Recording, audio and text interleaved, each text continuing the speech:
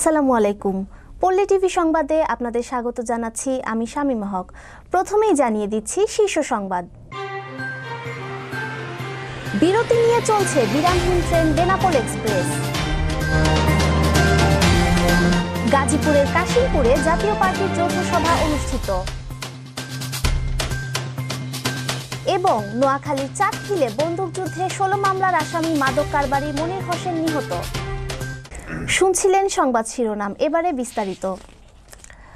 বিরতি নিয়ে চলছে বিরামহীন ট্রেন বেনাপোল এক্সপ্রেস। যাত্রীদের অভিযোগ, চলার নিয়ম ভেঙে বিভিন্ন স্টেশন ও আউটার সিগন্যালে দাঁড় করিয়ে রাখা হয় ট্রেনটি। এতে চরম ভোগান্তির শিকার হচ্ছেন যাত্রীরা।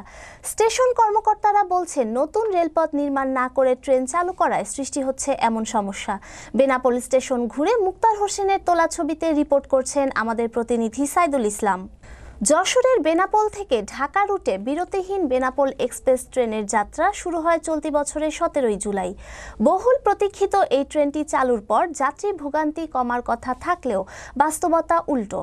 নামে বিরতিহীন হলেও বিভিন্ন স্টেশনে থামে ট্রেনটি। বেনাপোল থেকে ঢাকা পর্যন্ত যাওয়া আসায় কমপক্ষে দশ জায়গায় থামে বিরতিহীন এই ট্রেনটি। ঢাকা বেনাপোল ও বেনাপোল ঢাকা আসা যাওয়ায় নির্ধারিত সময় আট ঘণ্টা হলেও সেখানে লাগছে বারো বা তেরো ঘণ্টা। যাতায়াতের সময় লাগায় যাত্রীদের মাঝে বিরাজ করছে ক্ষোভ।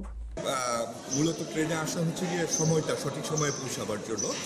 যেটা হয় বাসে জ্যাম থাকে ইয়েতে ফেরিতে দেরি হয় সেই জন্য আমরা ট্রেনে আসি। কিন্তু আজকে ট্রেনে এসে যে ভোগান্তিটা হয়েছে যেটা আমরা জানি যে বেনাপোলে আহ, আসতে আমাদের সাত আট ঘণ্টা সময় লাগার কথা।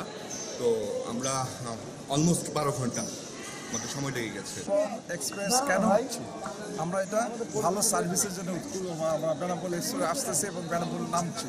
সেই জায়গায় আট ঘণ্টার জায়গা। এখন যদি এগারো ঘণ্টা বারো ঘণ্টা লেগে যায় তাহলে তো আমরা সেই সার্ভিসটা পাচ্ছি। না বেনাপোল এক্সপ্রেস ছাড়ার কথা ছিল বারোটা চল্লিশে কিন্তু ওখানে চল্লিশ মিনিট লেটে ট্রেনটা ছাড়ে এবং পথে অনেক জায়গায় যাত্রা বিরতি করার কারণে আমাদের আসতে প্রায় এগারো থেকে বারো ঘণ্টা সময় লাগছে। এই বেনাপোল এক্সপ্রেসে রাত বারোটা চল্লিশে গাড়ি ছাড়ার কথা সেটা ছেড়েছে একটায় আর এখানে এসে পৌঁছলাম এগারোটায়। টোটাল মোট প্রায় এগারো ঘণ্টা সময় লেগেছে। তো যদিও এটা অনেক পর্যাপ্ত সময় এত সময় লাগার কথা নয় শতভাগ যাত্রী না হওয়ায় যাত্রা বিরতির স্থান বাড়ানো হয়েছে। ট্রেনটি বর্তমানে বিরতিহীন নয় আন্তঃট্রেন হিসেবে চলাচল করছে। আর একটি লেনে সব ট্রেন চলাচল করায় অন্য সব ট্রেনকে সাইড দিতে বারবার থামতে হয় বেনাপোল এক্সপ্রেসকে। আধুনিক রেল লাইনের অভাবে ট্রেনটি নির্ধারিত গতিতে চলতে পারছে না।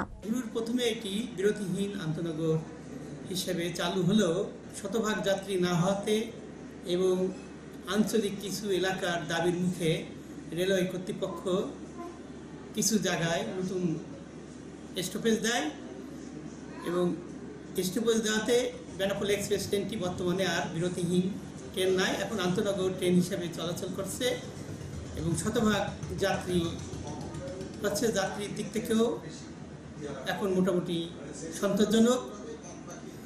আর বেনাকুল এক্সপ্রেস ট্রেন নির্ধারিত সময়ে পৌঁছাতে বিলম্ব হওয়ার কারণ প্রথমত সিঙ্গেল লাইনের কারণ। সিঙ্গেল লাইনে একটি ট্রেনকে ক্রসিং করতে গেলে এক ঘণ্টার অধিক সময় অপর ট্রেনকে বসে থাকতে হয়। যাত্রী দুর্ভোগ লাঘবে, সরকারের দ্রুত হস্তক্ষেপ চান বেনাপোলবাসী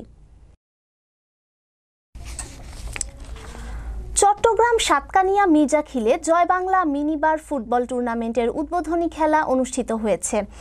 সোনাকানিয়া ইউনিয়ন পরিষদের মাঠে সোনাকানিয়া ইউনিয়ন ছাত্রলীগের উদ্যোগে খেলায় সভাপতিত্ব করেন ইউনিয়ন ছাত্রলীগের সভাপতি জাহিদুল ইসলাম। আব্দুল আজিজের সঞ্চালনায় প্রধান অতিথি ছিলেন সোনাকানিয়া ইউনিয়ন পরিষদের চেয়ারম্যান আলহাজ নূর আহমদ। খেলায় উদ্বোধক হিসেবে উপস্থিত ছিলেন সোনাকানিয়ার ছাত্র ও যুব সমাজের প্রিয় মুখ, জননেতা সেলিম উদ্দিন চৌধুরী। বিশেষ অতিথি ছিলেন আবুল কাশেম চৌধুরী, মাস্টার আবু তাহের, সাইফুল ইসলাম, আলহাজ মেহের আলী, আইয়ুব জমিদার মেম্বার ও আব্দুল মজিদ মেম্বার। উদ্বোধনী খেলায় অংশগ্রহণ করে কুতুবপুর পাড়া ফেয়ার ক্লাব এবং দয়ারপাড়া ফুটবল একাদশ। গাজীপুর মহানগরীর কাশিমপুর থানা জাতীয় পার্টি ও অঙ্গ সংগঠনের উদ্যোগে আগামী আটাশে ডিসেম্বর জাতীয় পার্টির জাতীয় সম্মেলন সফল করার লক্ষ্যে আলোচনা ও যৌথ সভা অনুষ্ঠিত হয়েছে। গতকাল রোববার বাইশে ডিসেম্বর বিকেল চারটায় কাশিমপুর থানা জাতীয় পার্টির কার্যালয়ে ওই সভা অনুষ্ঠিত হয়। কাশিমপুর থানা জাতীয় পার্টির সভাপতি মোহাম্মদ ফারুক খানের সভাপতিত্বে সাধারণ সম্পাদক রুহুল আমিন দেয়ানের সঞ্চালনায় প্রধান অতিথি হিসেবে উপস্থিত ছিলেন জাতীয় পার্টির প্রেসিডিয়াম সদস্য ও মহানগর জাতীয় পার্টির সভাপতি বীর মুক্তিযোদ্ধা আলহাজ আব্দুস সাত্তার মিয়া। বিশেষ অতিথি হিসেবে উপস্থিত ছিলেন জাতীয় পার্টির কেন্দ্রীয় নির্বাহী সদস্য ও মহানগর জাতীয় পার্টির সহসভাপতি মোহাম্মদ শরীফুল ইসলাম শরীফ। এছাড়াও কাশিমপুর থানা জাতীয় পার্টির সহযোগী অঙ্গ সংগঠনের নেতাকর্মীরা এ সময় উপস্থিত ছিলেন। নোয়াখালীর চাটখিল উপজেলায় পুলিশের সঙ্গে বন্দুকযুদ্ধে তালিকাভুক্ত এক মাদক কারবারি নিহত হয়েছে। রোববার মধ্যরাতে হাটপুকুরিয়া ইউনিয়নের গনিমিয়ার দরজা নামক স্থানে এ ঘটনা ঘটে। নিহত মনির হোসেন পরকট ইউনিয়নের নুরুজ্জামানের ছেলে। পুলিশ জানিয়েছে, তার বিরুদ্ধে মাদকদ্রব্য নিয়ন্ত্রণ আইনসহ বিভিন্ন অপরাধে ষোলোটি মামলা রয়েছে। বন্দুকযুদ্ধে পুলিশের এসআই কৃষ্ণ কুমার দাস, এএসআই ইমরান আলী ও আব্দুল ওয়াদুদ আহত হন। ঘটনাস্থল থেকে একটি দেশীয় তৈরি এলজি, চার রাউন্ড গুলি, ছোড়া ও পঞ্চাশ পিস ইয়াবা উদ্ধার করে পুলিশ। চাটখিল থানার ওসি আনোয়ারুল ইসলাম জানান, গোপন সংবাদের ভিত্তিতে রোববার বিকেলে নিজ এলাকা থেকে চিহ্নিত মাদক কারবারি মনির হোসেনকে গ্রেফতার করে পুলিশ। রাতে তাকে নিয়ে অস্ত্র ও মাদক উদ্ধারে বের হয় পুলিশ। এ সময় গনিমিয়ার দরজা এলাকায় মনিরকে ছিনিয়ে নিতে তার সহযোগীরা পুলিশকে লক্ষ্য করে গুলি ছোড়ে। আত্মরক্ষার্থে পুলিশও পাল্টা গুলি ছুড়লে উভয় পক্ষের মধ্যে বন্দুকযুদ্ধের ঘটনা ঘটে। এক পর্যায়ে সন্ত্রাসীরা পালিয়ে গেলে ঘটনাস্থল থেকে গুলিবিদ্ধ অবস্থায় মনির হোসেন ও আহত তিন পুলিশ সদস্যদেরকে উদ্ধার করে নোয়াখালী জেনারেল হাসপাতালে পাঠানো হয়। এরপর চিকিৎসক মনিরকে মৃত ঘোষণা করেন। পল্লী টিভির এখনকার সংবাদ এ পর্যন্তই।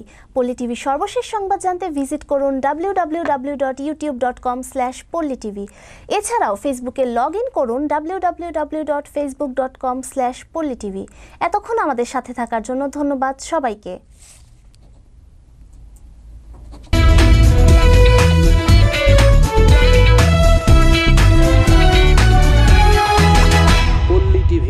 দেশ ও জনতার কথা বলে।